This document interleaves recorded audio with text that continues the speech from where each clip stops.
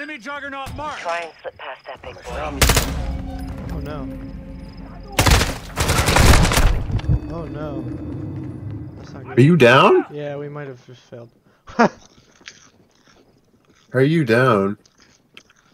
um, so I opened the door, like I peeked it, and there were three guys standing literally on the other side of the door. So.